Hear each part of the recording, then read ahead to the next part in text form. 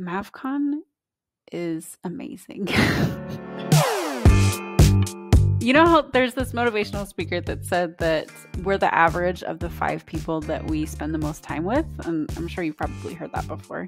But that is what makes MavCon amazing, is because you are in this room with a bunch of other people. Some of them are in the same place in, as business as you, and some of them are behind you, and some of them are way ahead of you doing more things, making more money. They're like where you want to be. And you get to be in this room with all these people that are challenging you and they're also working on their businesses and just the energy in that room you can't really like quantify